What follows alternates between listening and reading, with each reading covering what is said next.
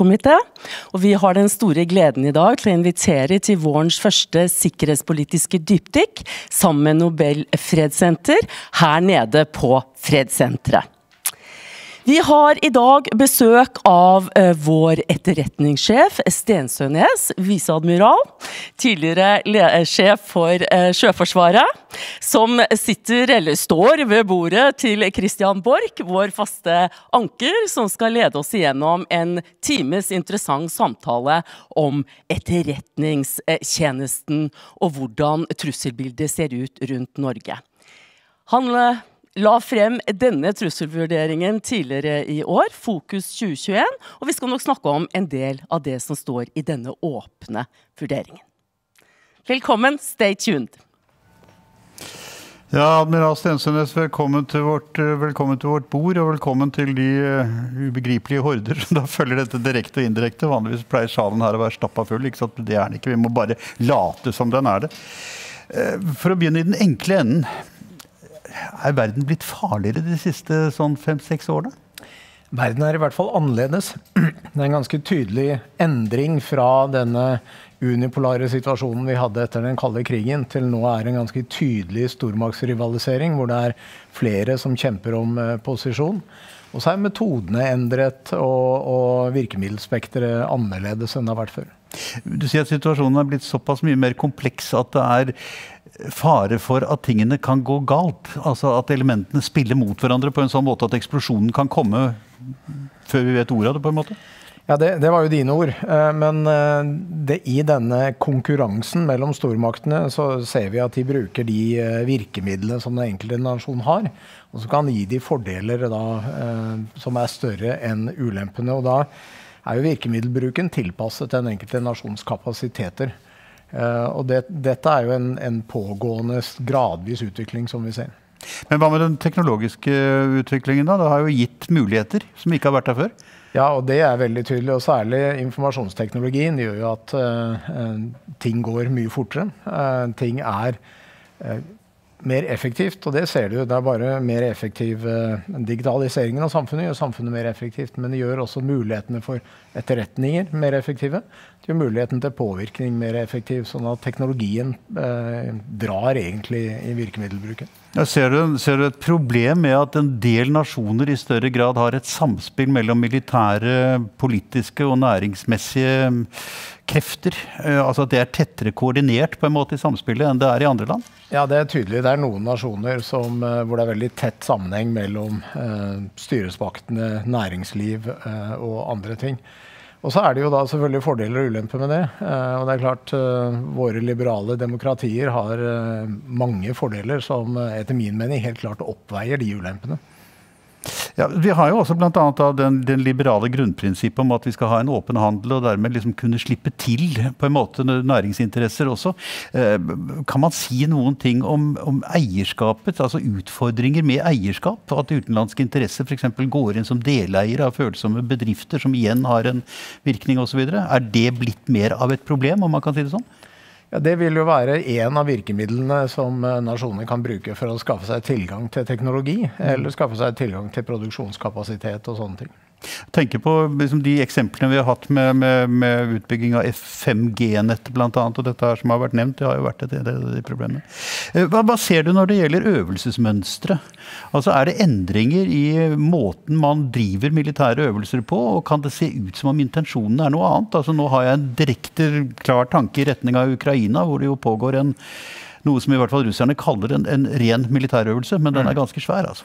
Virkelig svær. Ja, Det vi har sett uh, særlig da fra russisk side i våre nærområder, det er jo at de har utviklet et uh, konsept for aktiv bruk av Forsvaret. Egentlig helt fra fredstid i uh, krisesituasjoner og til regulære operasjoner. Eh, og Da kan de bruke militærvesenet for å signalisere misnøye med, eh, med enkelte handlinger. Mm. Og så er ulempen med den Eller ikke Ja, den, det er en ulempe for oss at militærvesenet har gått fra å være ganske stort og massivt til å være mindre, mye mer dynamisk og mye raskere og kan endre seg. Mm. Og så er det sånn at det kan være vanskelig å se forskjell på en øvelse og starten på en operasjon ofte. Mm.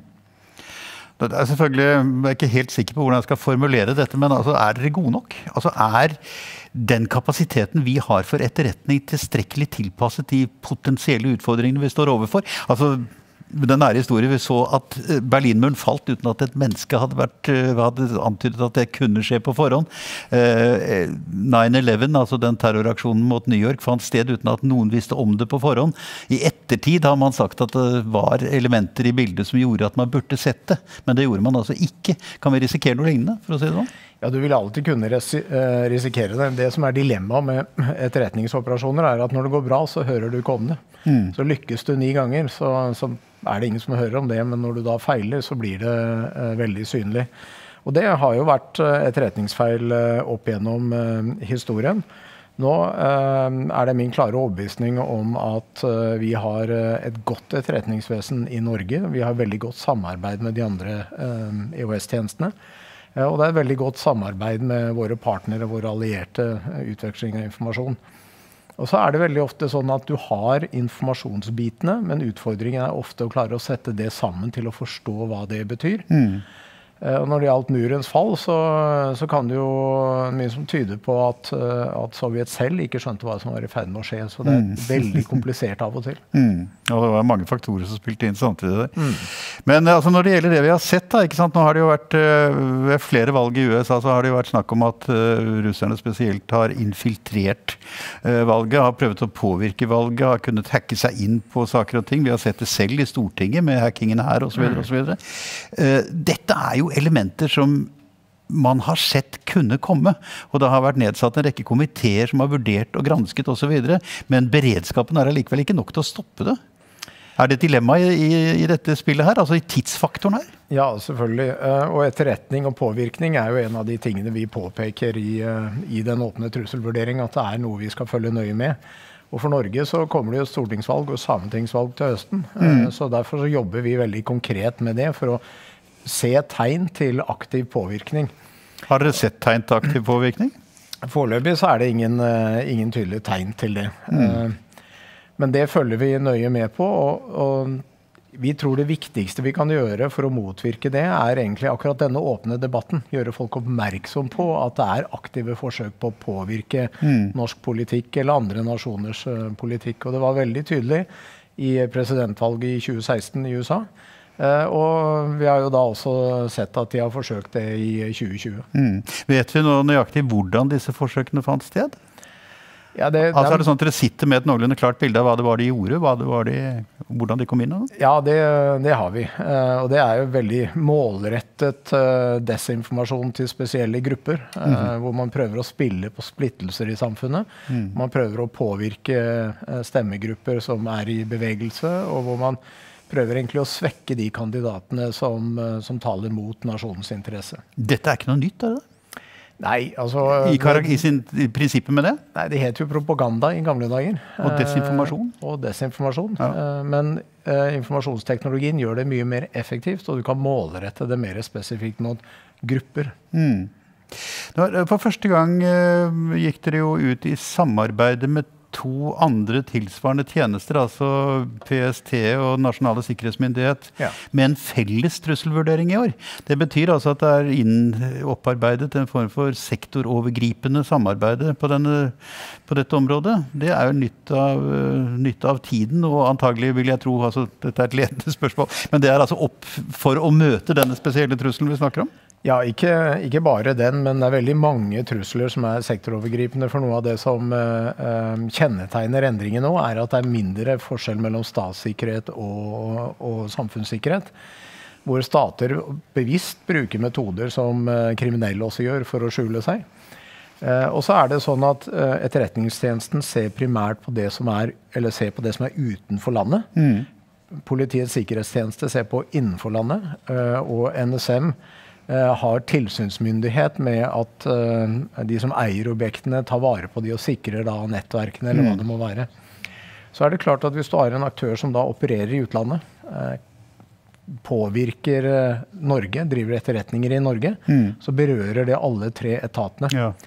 Og da fungerer det jo veldig mye bedre hvis vi kan gi en forståelse av hva man prøver å oppnå der ute, hvilke metoder de typisk bruker Politiets sikkerhetstjeneste kan etterforske eh, og avverge ting som foregår i Norge. Og NSM sammen med de som har nettverkene, kan jobbe med å beskytte de. Så det er en naturlig eh, følge av både eh, trusselbildet, men også teknologiens eh, utvikling. Og der har eh, samarbeidet egentlig Det er ikke noe nytt at vi samarbeider, men det er en, eh, for det første en, en tydelig styrking av samarbeidet, og det er en vilje fra fra alle tre tjenestene til å jobbe mest mulig sømløst. Mm. Eh, og så er det eh, en veldig klar politisk forventning om at vi koordinerer eh, på de områdene. Og så må vi passe på at vi har forskjellig rettsgrunnlag, sånn at mm. vi holder oss innenfor den hjemmelen vi har.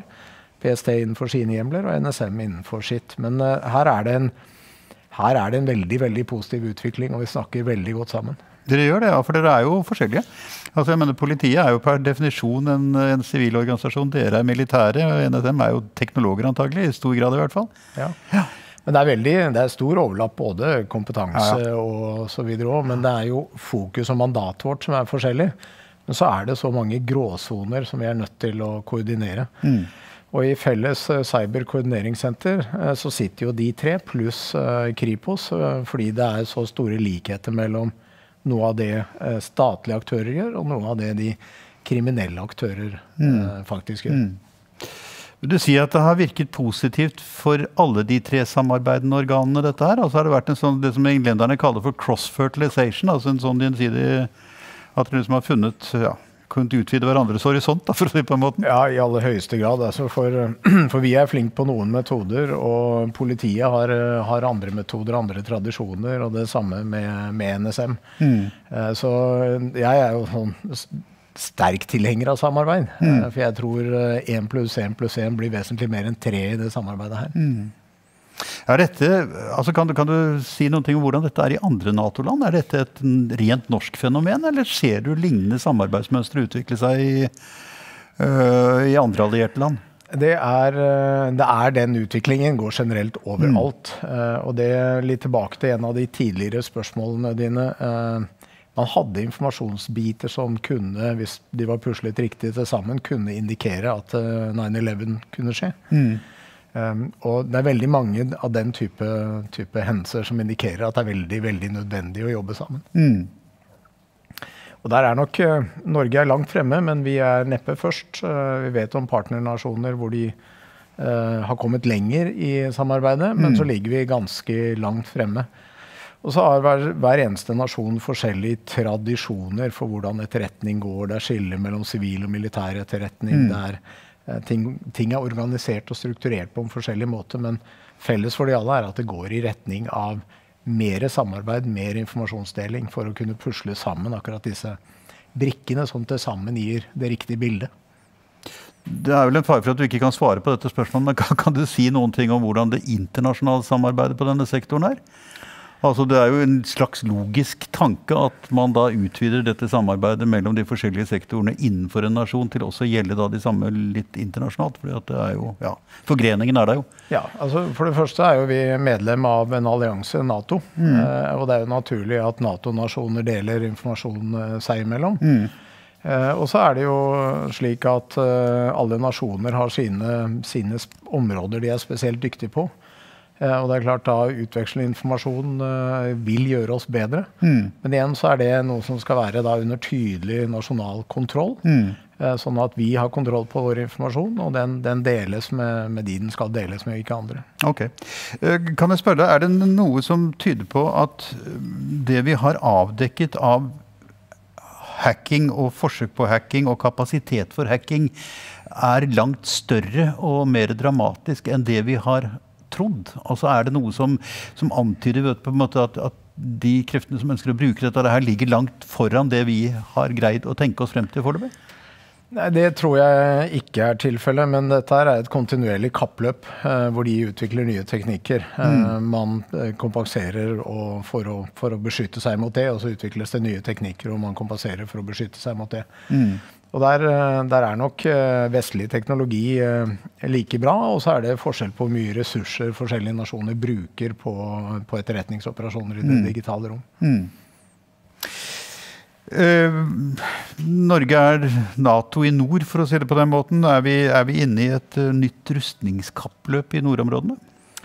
Ja, Vi ser en uh, endring i nord. Um, og så tror jeg det er riktig å si at det er en, uh, først og fremst en modernisering. Uh, Volumet øker ikke noe vesentlig, men det bygges nye våpen.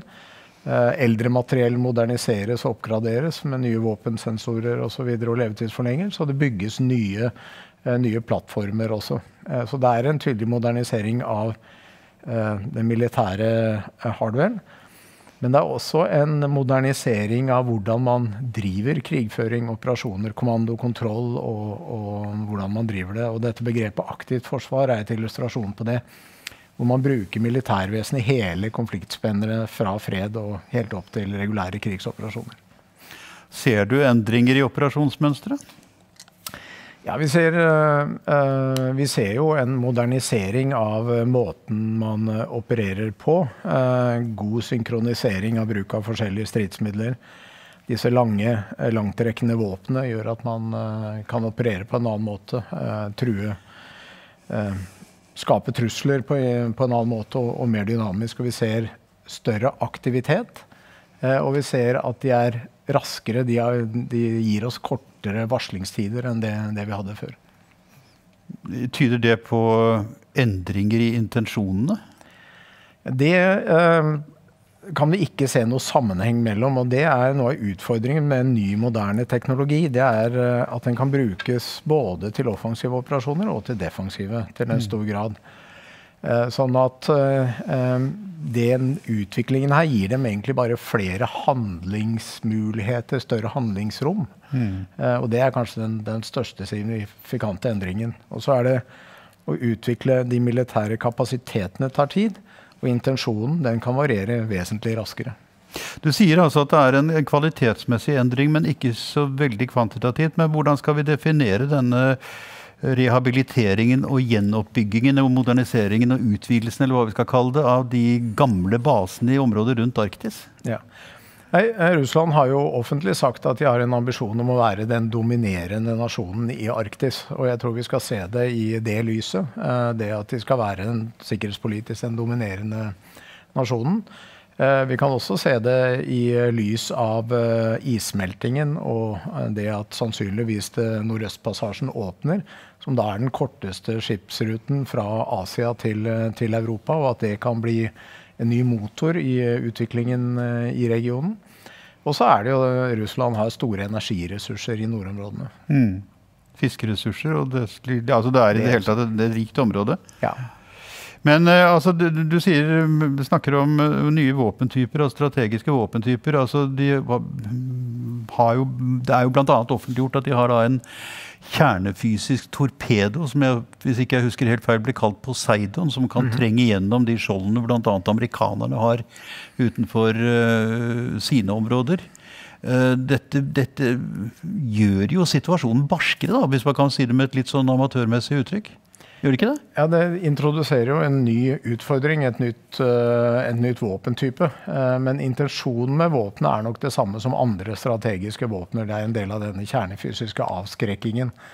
Og, men det er klart, når det utvikles den type nye måter å levere på, så, så vil det vil man måtte utvikle nye måter å forsvare seg mot, mot det på. Det er jo noe av det etterretning legger grunnlag for. Det er mm. også å forstå hvordan den type våpen virker. Mm. Sånn at man kan utvikle måter å detektere det og eventuelt motvirke det.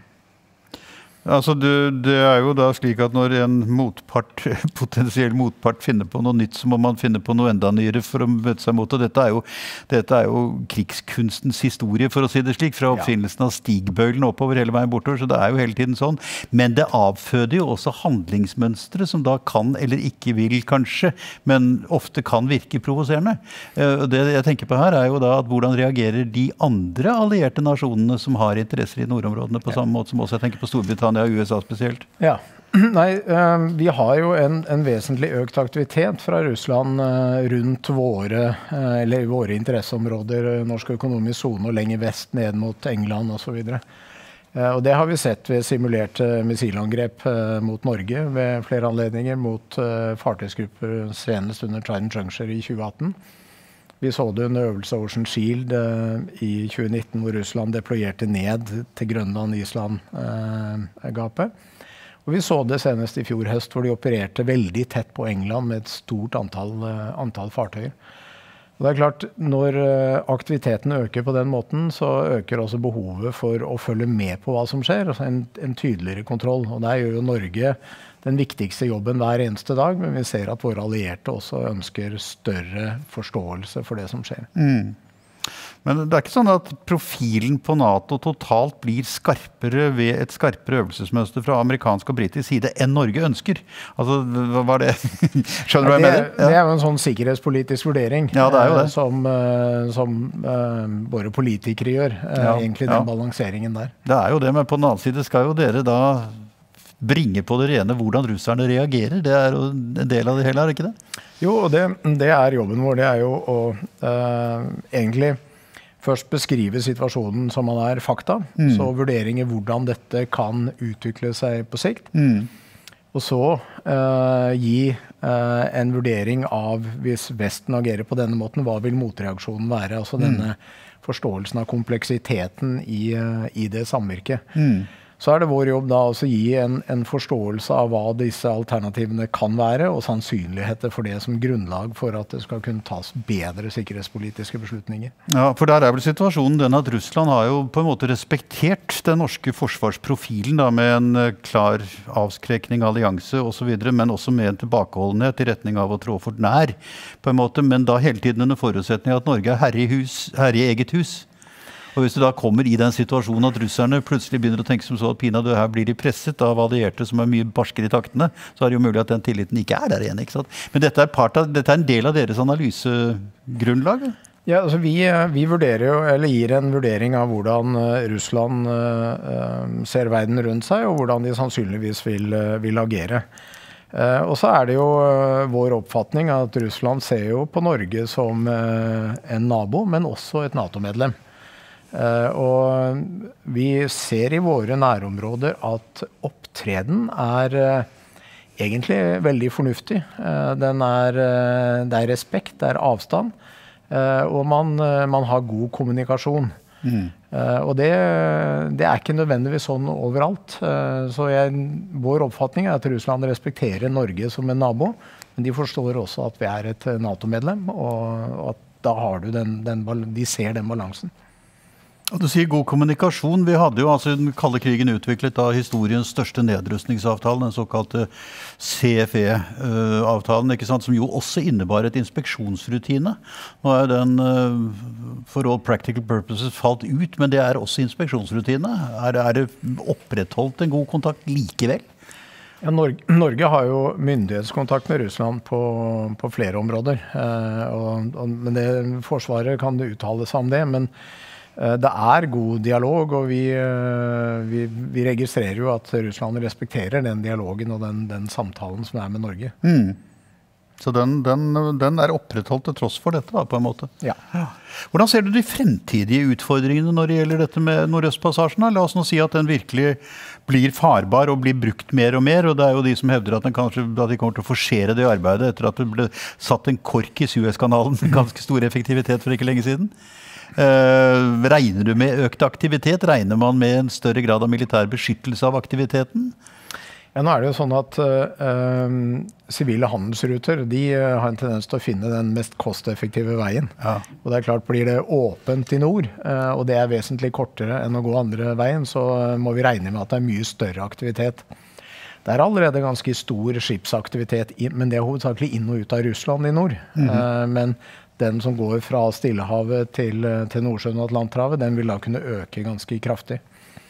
Og det er jo, uh, igjen gir jo mange muligheter uh, og, for økt handel og, og, og næringsdrift. Uh, og det er jo positivt. Og så er det vår, vår, jobb å følge med hvordan dette håndteres, om det skaper nye trusselsituasjoner. Men generelt så er jo handel som følger internasjonal lov og rett osv. helt uproblematisk. og egentlig en del av den naturlige utviklingen i verden. Men bringer ikke det oss litt tilbake til dette spørsmålet om integrasjonen av de forskjellige virksomhetene? Altså dette med det politiske, militære og næringspolitiske som en i helhet, som en del av den helhetlige tenkningen i særlig Kina og til dels også Russland?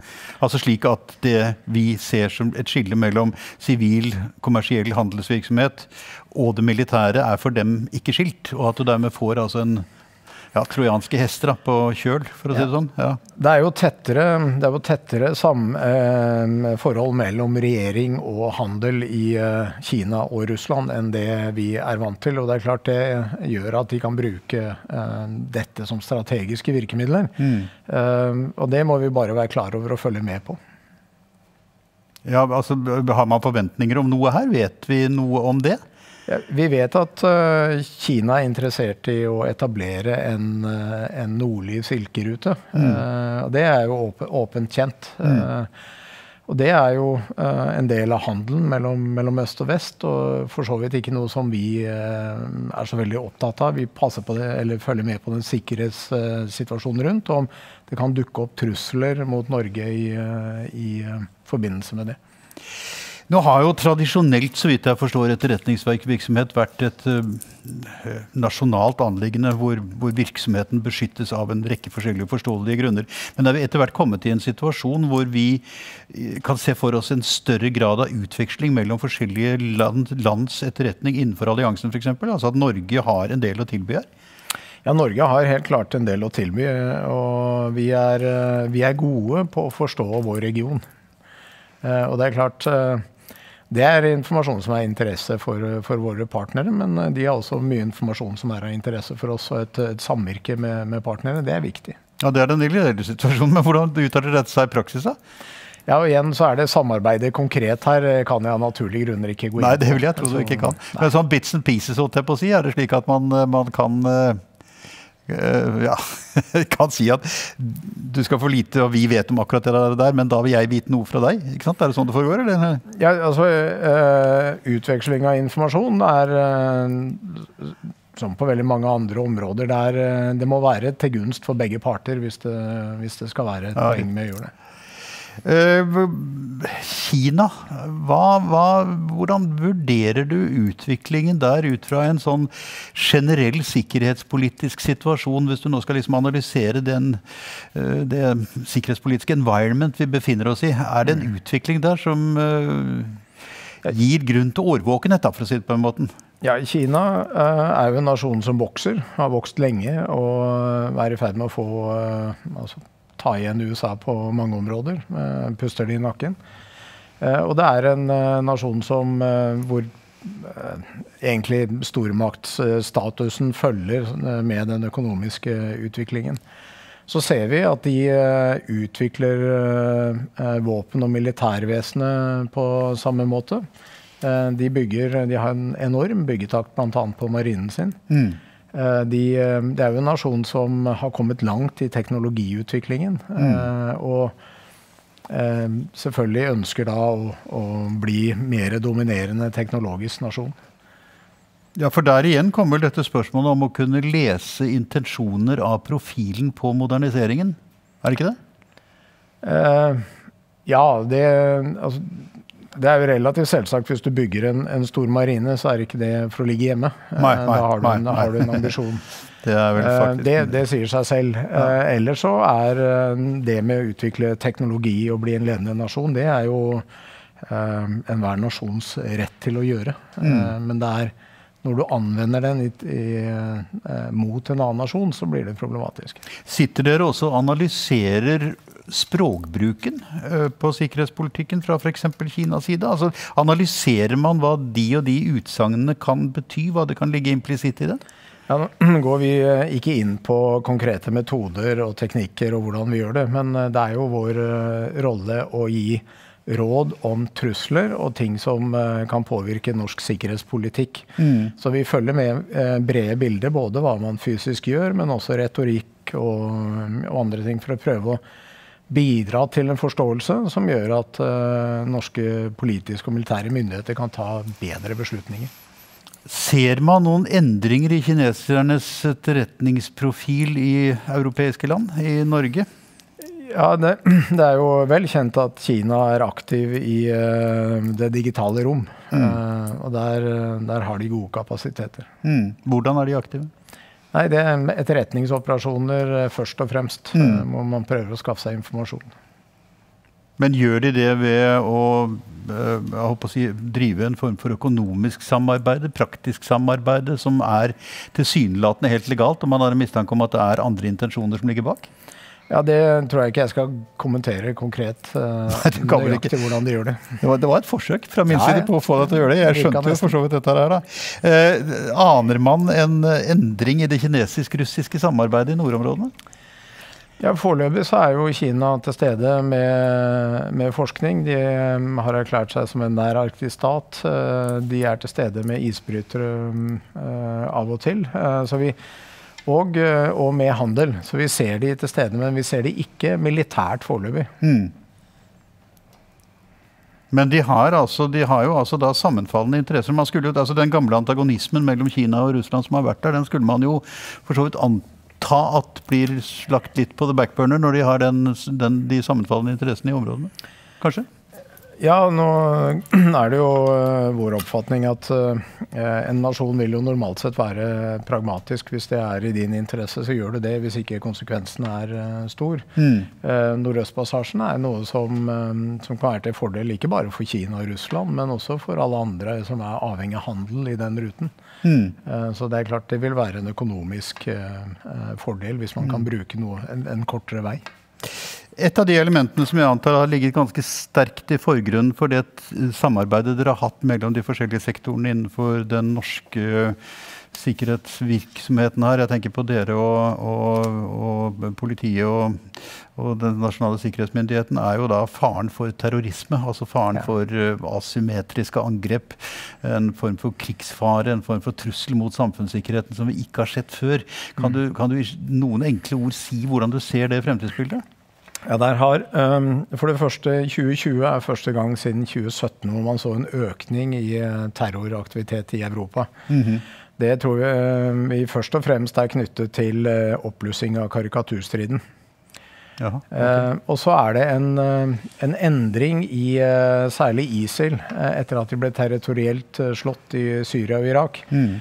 Eh, så, så, må de endre operasjonsmodus. og Vi ser at de prøver å etablere filialer i Europas randsone. Mm. Eh, og prøver å inspirere til aksjoner eh, den veien. Men de er mindre effektive. De har mindre evne til å koordinere og, og selvfølgelig til å trene og øve. Men de endrer modus operandi. Og, men er fortsatt aktive, så det er noe man må følge med fremover. Hvordan følger man med på dette? Ja, det er eh, For det første så følger vi med på aktiviteten i utlandet. Eh, mm. Og det er en etterretningstjenestens jobb. Mm. Eh, og så samarbeider vi med politiet, og der har det vært et tett og godt samarbeid gjennom Felles kontraterrorsenter i flere år. Mm. Hvor man, politiet jobber med det som skjer i Norge, og vi ser hovedsakelig knytningene ut og det som mm. kommer utenfra og inn. Uh, og det, det arbeidet um, egentlig er veldig, veldig modent og veldig godt, uh, det samarbeidet. Men kan man kan man måle de faktorene som kan føre til økning i rekrutteringen til terroraksjonene? Nå tenker jeg på sosiale forhold, på politiske forhold, på undertrykkelse, på sult. Altså Syria var jo problematisk i så henseende etc. Og det er en urolig region, og mye kan fremdeles komme til å skje. Men er det mulig liksom på en måte å kartlegge hva dette er for noe? Legge det inn i en slags sånn tombola-greie og si at det kan føre til det og det? Ja, der, der, tror jeg det er flere teorier enn uh, en det er eksperter, nesten. Uh, ja, Gjør ikke det det ganske problematisk? jo, det gjør det veldig ja. problematisk. Så, så, så, det er vanskelig å gjøre den type, den type prediksjoner. Vi prøver å, å se etter konkrete terrororganisasjoner og tegn på det, mm. sammen med da våre partnere. Altså Etterretningsvirksomhet er jo ganske, får vi mer og mer inntrykk av etter hvert som du snakker nå, Da er det en ganske kompleks idrett. Altså Dere driver jo med pinadø alt ikke sant, fra gammeldagse metoder med, med mann med opprettet jakkekrage som lusker rundt hjørnene, til uh, satellittovervåkning og analyseapparatene spesielt, vil jeg tro, etc. etc. Men her, når det gjelder terror, så står man altså overfor noe som tilhører en verden som er så fundamentalt forskjellig fra den vestlige måten å tenke på. Det må jo være spesielt utfordrende akkurat det der? Det er alltid vanskelig når du har eh, mennesker, grupperinger etc. som tenker vesentlig annerledes mm. enn oss. Eh, og Da ligger det i etterretningens natur å prøve å, å, frembringe analytikere som forstår den tenkningen, for å mm. kunne tolke disse tegnene. Mm. Eh, og etterretning består jo i stadig mer og større og større grad av å koble disse forskjellige informasjonsbitene sammen og mm. klare å tolke det bildet mm. og forstå hva det kan bety. Mm. Og så er dilemmaet at du, det er vanskelig å spå, særlig om fremtiden. Mm, jeg har hørt det. Ja. Og da, da, blir det sånn at uh, vår, vår, primære jobb er å gi mulighetsrommet. Det kan mm. bety dette og dette med den mm. og den, disse sannsynlighetene. Og så følge med på indikatorer om det går i de retningene for å sørge for at våre beslutningstagere har, igjen som, som jeg sa tidligere, et godt beslutningsgrunnlag. Mm. Eh, og, det, og, da er det å pusle sammen et så komplett bilde som mulig, sånn at man forstår hva som faktisk skjer. Og så mm. er det igjen forstå tenkningen mm. for å forstå hva det kan bety, og hvordan det kan utvikle seg i fremtiden. Mm. Så eh, etterretning er et komplisert fag, mm. eh, og det skiller seg fra, fra mange andre måter, f.eks. tenketanker ved at man har tilgang til annen informasjon. Men også ved at man har et helt annet oppdrag. Mm. Eh, og det er, ikke, det er, ikke, fri forskning. Nei, men du har allikevel altså et ganske stort behov for, for, en teoretisk, akademisk analysekraft i dette systemet. Da, på en måte. Ja. Det betyr at du må ha eksperter på islam, på forskjellige bevegelser innenfor islam du må ha så videre, Når det gjelder islamistisk uh, terrorisme, i hvert fall. Ja. Ja, Det du trenger, er jo ekspertise som forstår de områdene du jobber med. Ja. Uh, og det det er jo unike med en etterretningsorganisasjon. Det er jo fra hun eller han som sitter og plukker opp et, eh, enten en datafil eller forstår noe, eller noen som plukker opp noe på radioen, eller noen som snakker med noen, helt til de som sitter og analyserer det sammen med alt det andre. Hva betyr dette? Mm. Og Det betyr jo at organisasjonen vår er eh, veldig mangeslungen, og det er eh, veldig mye god ekspertise i norsk etterretningstjeneste. Det betyr at dine folk kan sitte der og gjøre det samme som de som da infiltrerer Stortingets uh, datasystemer gjør? da? Altså, at dere kan da på en måte infiltrere kommunikasjonslinjene innenfor terrororganisasjoner og den type ting? Eller? Ja, nå igjen så snakker vi ikke om hvilke metoder. Nei, det vet jeg. jeg, vet, jeg, vet, jeg vet. Men jobben vår er jo å skaffe ja. denne informasjonen. Mm. Og så er det jo sånn, og det, det, er veldig interessant fordi den informasjonen som man prøver å skjule, det er gjerne den informasjonen som er av størst betydning, nettopp fordi mm. den er viktig for, for, eh, for din sikkerhet. Mm. Uh, og det er jo et dilemma vi er nødt til å jobbe med. Dette er liksom de, litt mer sånn esoteriske sidene av det, men hva ser dere rent konkret? Altså, hva kan du si om utviklingen av samarbeidet mellom organisasjoner som ISIS, Taliban i Afghanistan, Al Qaida, Al Qaida Maghreb, uh, Al Qaida som ligger i Jemen etc. etc. Er det sånn at man rent konkret kan se at de har en interaksjon seg imellom, at de utveksler erfaringer, at de snakker om potensielle mål osv. osv. Ja. Den, den, store endringen eh, etter at man ble territorielt slått, er jo at man har jo ikke den samme muligheten nå til å gjøre dette samlet. Nei. Eh, så det er jo en, med i større grad inspirasjon mellom disse gruppene. Eh, hvor man blir inspirert av tankegods osv. Og, mm. og folk kommuniserer på alle mulige rare måter for å spre både ideologi og inspirasjon og, og ideer.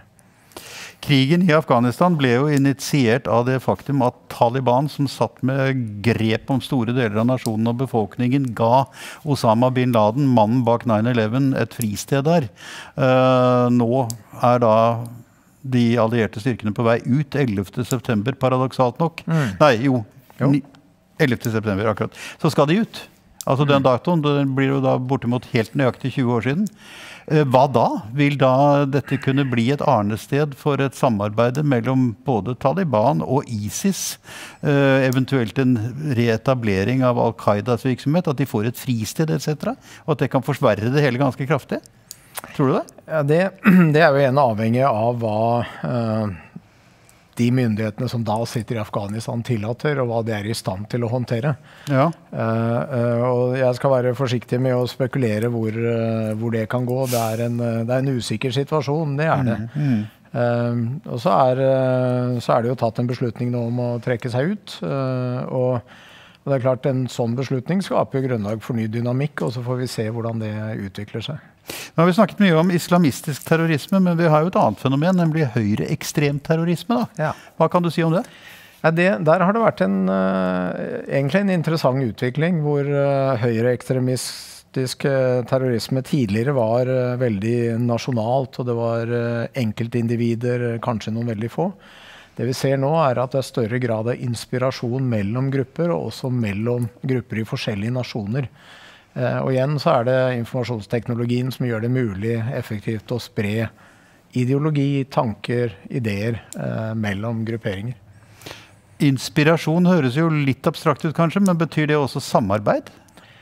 Ikke, eh, ikke, så veldig konkret. Det er mer det at man sprer ideer eh, over nettet.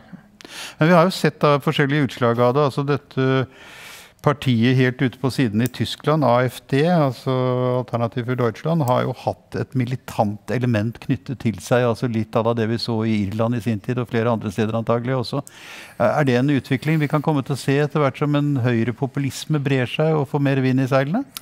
Ja, Da beveger vi oss fra terrorisme inn til politikk. Eh, og Der setter vi en veldig klar skille. Mm. Eh, så vi eh, driver ikke med politiske saker hos våre allierte. Vi ser etter konkrete terrorisme, mm. internasjonal terrorisme, mm. i utlandet. Eh, så, så, på det området så, så, er det ikke riktig å, for meg å ha noe syn i det hele tatt. Hvordan vurderer du denne litt merkelige karnevalsforsamlingen som okkuperte den uh, amerikanske kongressen uh, for å redde Trumps presidentskap, eller hvordan vi skal uttrykke det? Nei, det, det, tror jeg jeg legger på den politiske siden av det. og det tror jeg, jeg har, vi, vi, følger ikke med på det og har ikke noe formening om, om de typer politiske bevegelser. Nei, så Man kan ikke altså kalle pøbelopptreden uten videre for terrorisme? Da, når du snakker om terrorisme, så snakker du om altså voldelig ja. altså Konkret og villet voldelig ja. Ja. Men denne inspirasjonen du snakker om, som altså da brer seg på, på en måte i, over, over, nettet, på en måte, er, det, er, den, er den, vil du si den er farlig? Er den uh, slik at den kan tenne uh, ideer og ja, fryktelige ting i hodet på folk som kan gi seg konkrete utslag i større grad enn vi har sett før?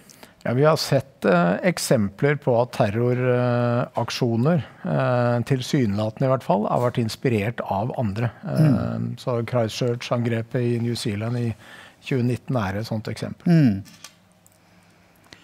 Er det grunn til å være bekymret for dette? Er det, er det, altså, jeg prøver liksom å få et sånt kvantifiseringselement oppi hodet mitt her. Er, det, er, det, er terrorismen en veldig alvorlig trussel? Ja, Terrorismen er, uh, har ikke forsvunnet. Uh, det er fortsatt en terrortrussel mm. fra både venstreekstreme, men også høyreekstreme. Ja, altså både, også, ved islamistiske ja. terroristgrupper. ja. ja. har den relevans til f.eks. en situasjon som vil tvinge frem en større flyktningstrøm fra Sahel-regionen, som jo en del venter? Altså Er det en relasjon mellom sosialt-politisk nød på den ene siden og utviklingen av terrorisme? Eh, ja, det, det, kan være mange grunner til det. Eh, men det er jo ting som tyder på at det kan være sammenheng der. Mm. Så det bør vi altså ha øynene opp for. Å ha ja. med som en bet betraktende faktor når vi legger opp en flyktningpolitikk etter hvert videre fremover. Ja, den Flyktningpolitikken skal jeg i hvert fall ikke ha noe mening. Nei, det vil jeg ikke be deg. Jeg skal, jeg skal, ikke spørre om det. Men derimot kan jeg tenke meg å spørre om fremtiden. Ja. Altså, hva, hva, ser du for deg? Altså, for å stille deg et annet spørsmål. Hva er egentlig etterretning? Hvilken betydning ja. har denne tjenesten du representerer i det fremtidige Norge? Ja. Nei, Etterretningens oppdrag er jo først og fremst uh, å skaffe informasjon om trusler mot Norge. Og annen relevant informasjon for å ivareta norske, norske, norsk sikkerhetspolitikk og norske interesser. Og det er ganske mangeslunget. Uh, truslene som vi har vært inne på, et komplekst uh, trusselbilde i dag, kan være militære, eller det kan være etterretning om påvirkning, kan være terrorisme og enda, enda flere ting. Så det å ha en organisasjon som er eh, innrettet på å skaffe den type informasjon, det tror jeg eh, skaffer et godt grunnlag for beslutningstakerne som skal ta alle disse vanskelige avveiningene. Og så må en etterretningstjeneste må ligge i forkant av utviklingen. Mm. Eh, hvis du ligger bak, så forstår du ikke de, de, vesentlige endringene. Så vi må være forstå trendene tidlig, sånn at vi kan forstå hva det betyr. Vi må kunne pusle sammen disse bitene til å gi et, en forståelse av en, hva som skjer, og hva mm. som kan komme til å skje fremover. Eh, og etterretning blir eh, igjen preget av teknologi, og den sikkerhetspolitiske utviklingen er egentlig det som, uh, som driver hvordan etterretning vil utvikle seg. Men Skal du ligge i forkant av utviklingen, så må du jo altså da også vite hva det er som kommer til å skje, og være forberedt på å kunne møte det. da. Ja, det, det, er jo liksom, det, er jo en sånn contradiction in terms, er det ikke det? Det er vel ikke mulig, på en måte? Du vet jo ikke hva som skjer i morgen. Nei, uh, og det er hele poenget. Vi, uh, vi, skal forstå hva som skjer nå. Mm så skal vi søke å forstå intensjonen til, uh, til aktørene på andre siden. Mm. For å kunne gi noen sannsynlighetsbetraktninger om hva som kan komme til å skje i fremtiden. Mm. Uh, og, det, og, det, viktige da er at man uh, da har bedre mulighet til å, å, forberede seg eller ta riktige beslutninger for å unngå den, uh, den trusselen, eller, eller, stå imot hvis det er riktig. Det er vel altså da nokså naturlig å anta at dere vil fortsette å utvide og utvikle det trepartssamarbeidet som har vært eh, dominerende, mye dominerende både i denne samtalen og i, i den utviklingen av trusselbildet videre utover? Ja, ja. Uh, på alle måter. Vi snakker sammen på flere og flere områder. Mm. og vi snakker sammen dypere og dypere og på flere nivåer i organisasjonen og utveksler både kompetanse, erfaringer og informasjon knyttet til, til konkrete saker. Så det, er, eh, det, har vært en veldig positiv utvikling som jeg bare ser vil, eh, vil fortsette. Er lovverket og det andre som regulerer denne virksomheten, eh, tilstrekkelig modernisert til å kunne stemme overens med virkeligheten i dag og i morgen? Ja. Der ble jo ny etterretningslov vedtatt i fjor sommer. Ja. I kraft fra 1.1. i år. Mm -hmm. Jeg oppfatter det som en svært god etterretningslov. Okay. Det, det gode med den er at den setter ikke bare grenser for hva vi ikke kan gjøre, men den gir oss også mandater for hva vi kan gjøre. Altså Vi får uh, tydelige mandater og tydelige lovhjemler for det vi skal gjøre. Og det er, uh, det er, viktig for meg. Jeg er veldig opptatt av at vi kan levere resultater. Mm. Men jeg er også veldig opptatt av at vi kan holde oss innenfor loven, at vi har tydelige hjemler. sånn at både våre ansatte, men uh, vi også kan være trygge på at vi gjør det som lovgiver og regjering til enhver tid ønsker at vi skal gjøre. Mm. At vi ikke går utenfor disse rammene. Så den nye etterretningsloven er en moderne lov. Det er en veldig god lov. Men du mener at den altså er mer proaktiv da, på en måte enn den gamle? I og med at den da sier mer om hva dere kan gjøre, eller hva dere bør gjøre?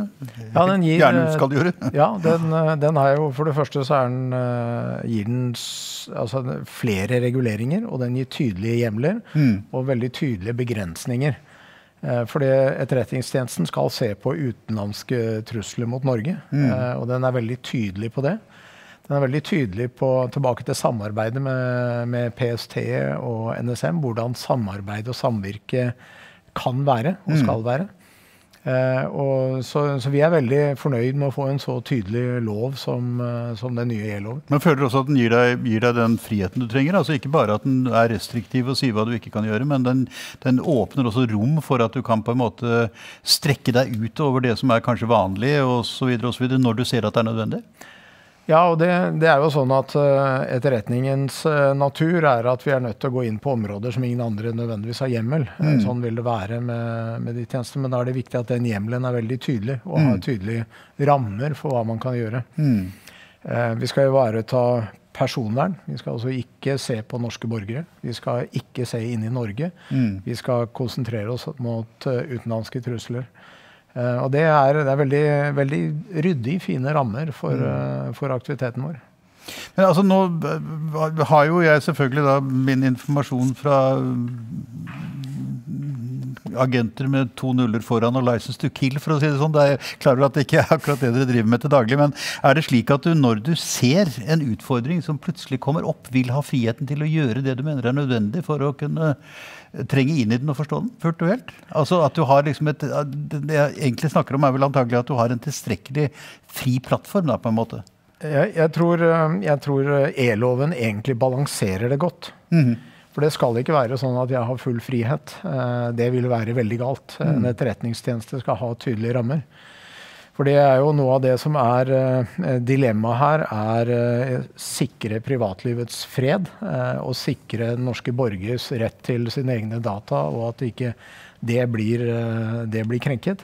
Samtidig som vi gjør eh, jobben vår. Og det er klart, det er alltid noen ulemper med det. Eh, men dette er en, en, avveining som faktisk lovgiver har gjort på en veldig god måte. Mm. Sånn at jeg er veldig komfortabel med den avveiningen som er gjort i E-loven.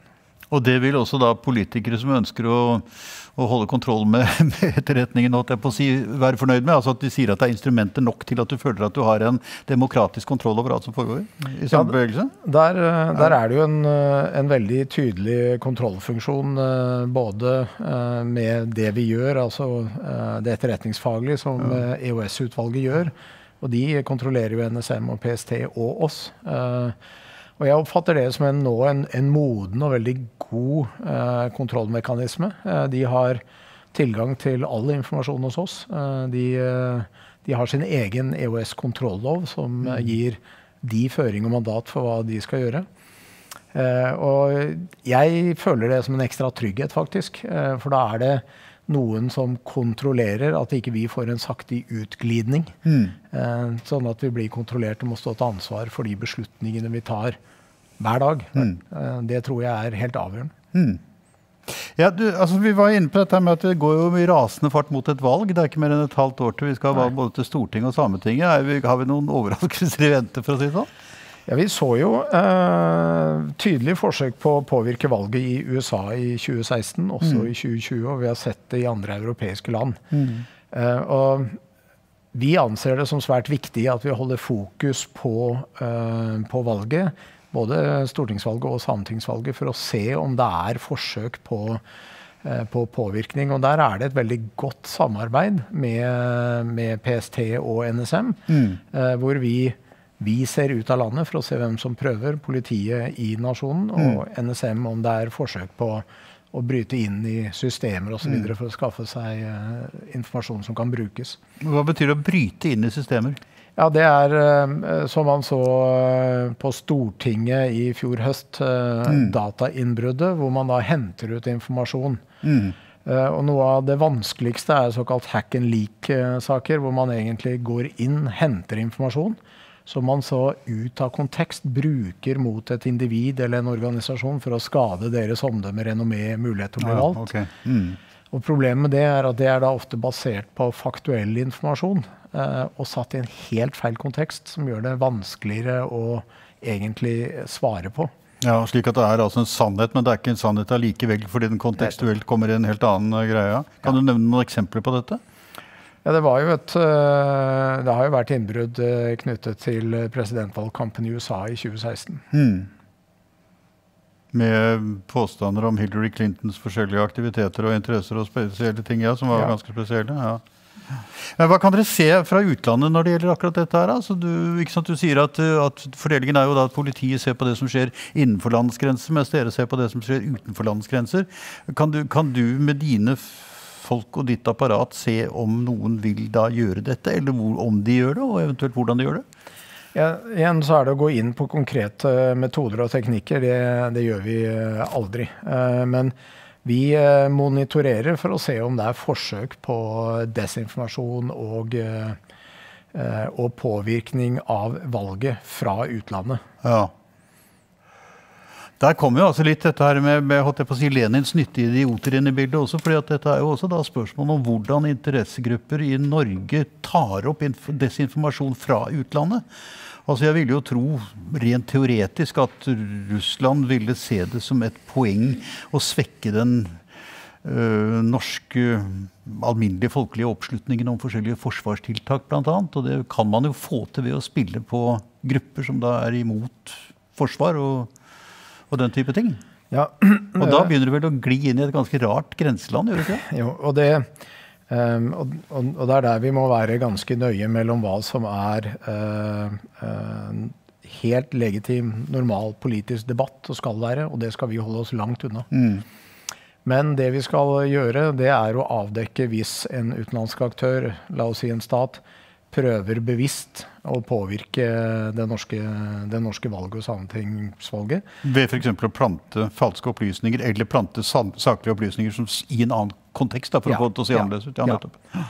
Og så er det jo kjent at uh, falske nyheter spres veldig fort. Mm. Uh, nettopp fordi de er laget for at de skal appellere og spres. Og mm. Ja, Det bringer oss jo da frem til det interessante faktum at du står her du står. Ja. Altså Det er jo ikke sant, det er ikke så veldig ofte at det norske folk får full innsikt i tankegang og utseende til etc., etc., folk som er sjef for Etterretningstjenesten, for å si det sånn. Men altså, er dette et uttrykk for at du ser et behov for å øke informasjonen, beredskapen, bevisstheten, årvåkenheten ute blant folk? Altså det, det vann som politikerfiskene svømmer i, for å sitere Mao Zedong? Ja, vi har jo, eh, Mandatet vårt er jo å skaffe dette informasjonsgrunnlaget for norske myndigheter. Men det er også ønske om at vi bidrar til eh, en eh, riktig og opplyst samfunnsdebatt. Og når det gjelder særlig valgpåvirkning, så er jo akkurat det at folk er bevisst på at det pågår et forsøk. Det beste forsvaret. Sånn at man kan være mm. kritisk til det som blir postet, og kan dette virkelig stemme, og hva ligger bak, hvorfor, hvorfor sier man det man sier. Mm. Eh, og så er det å, å ha en opplyst eh, debatt om, eh, om, trusselsituasjonen rundt Norge, det er, det er, viktig generelt. Sånn at vi har et realistisk forhold til verden rundt oss. Og så er det ikke, det er ikke nytt. Fokusrapporten i år er den ellevte rapporten hvor den fremlegges. Mm. Nå har vi vært noe mer aktive i år med å kommunisere den flere ganger og på flere plattformer med forskjellige vinkler. Mm. Eh, det tror vi er for å, eh, kan bidra til at flere eh, får innsyn i det, og mm. forhåpentligvis kan berike debatten om, om norsk sikkerhetspolitikk. Kan du si noe om reaksjonene i akkurat den retningen? Ja, har, du, har du erfaringer med det? Ja, altså Så langt så har jeg fått svært lite kritiske anmerkninger til at vi fremlegger dette mm. offentlig. Mm. Og det er en, en klar forventning fra våre oppdragsgivere eh, at vi bidrar til, det, til en sånn en faktabeskrivelse, et grunnlag for den sikkerhetspolitiske debatten. Ja, oppdragsgivere det, mener du altså det politiske lederskap? Ja, det er både politisk og, og du og meg, altså ja, Hermansen. Ja. Mm. Vi, er, vi, er, alle en del av det politiske Norge. Mm. Og det tror vi, er, vi tror det er viktig å kunne bidra til det, og at ikke det bare er spekulative stemmer som kommer. Så er vår, vår, vår intensjon er å prøve å gi et, et faktuelt uh, situasjonsforståelse. Mm. Altså Rent konkret vil jeg da tro at det å forsøke å motvirke fake news er et vesentlig poeng her. altså At man gjør folk oppmerksom på at det som står i enkelte ø, sosiale medier og andre den type plattformer, ikke er laget med noe ansvarlighet, men med altså, rett og slett hensikter etc. etc. Og det er vel et problem i våre dager, er det ikke det? Flyter ikke disse tingene altfor mye i ett? Ja, informasjonsteknologi er veldig effektivt til å spre god informasjon, men også til å spre falsk informasjon. Ja, det var det. uh, og da er det jo viktig at uh, vi bruker også de mediene til å komme med faktuell riktig informasjon. Mm. og det tror jeg er det beste det opplyste individet er, er, bedre enn det andre. Mm. Og så er jeg en tydelig opp, eh, fremtidsoptimist. Eh, min oppfatning er at mine barn er vesentlig bedre på kildekritikk enn jeg var på den alderen. Er det sant? Ja, det er uten tvil. Ja vel? Kan det være at de er smartere, men de er i hvert fall vesentlig bedre. Nei, men Det betyr vel at de, har vært, at de er blitt mer oppmerksom på problemet, da? Med, med, at, med at falske kilder kan ha helt andre hensikter med det som kommer opp? Ja, og, det, og det, er jo det som skulle skje. da, på en måte. Det er, jo, ja. og det er min oppfatning at skjer i skolen i dag. Ja. Eh, de er veldig flinke. altså Allerede fra når jeg hjalp til og vi diskuterte eh, oppgaver på barneskolen, så begynte de å diskutere kildekritikk. Og det var tydelig på ungdomsskolen, og det er helt veldig tydelig i videregående. Ja. Eh, så, så jeg, er, eh, jeg, er, sikker på at en oppvoksende generasjon er flinkere enn eh, oss midt i 50-åra til dette her. Det betyr at du toner altså faktisk ut med et relativt optimistisk fremtidssyn på i hvert fall noe av det som da er et kritisk problem i våre dager. Takk for at du var med oss, og takk for at du delte dine tanker og erfaringer og kunnskaper. Veldig hyggelig. Takk skal du ha. Ja, da vil jeg, eh, Kjersti Fløgstad heter jeg. Jeg er direktør på Nobels fredssenter og vil takke så mye viseadmiral Nils Andreas Strømnes fordi at du delte disse tankene. Det var veldig interessant. Og eh, som alltid meget godt eh, eh, fasilitert og en god dialog fra Christian Borch.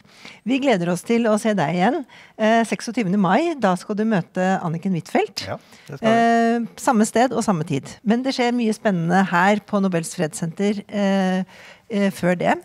I samarbeid med Atlanterhavskomiteen er det et bokbad da den 6, nei, 28. april hvor Cecilie Hellestveit skal snakke om boken sin om Jemen. Og, men, og før det så skal vi da her om en knapp uke, 21. april klokken tre, ha et av de første, tre første møter som vi har i samarbeid med fredsprisvinner Verdens matvareprogram.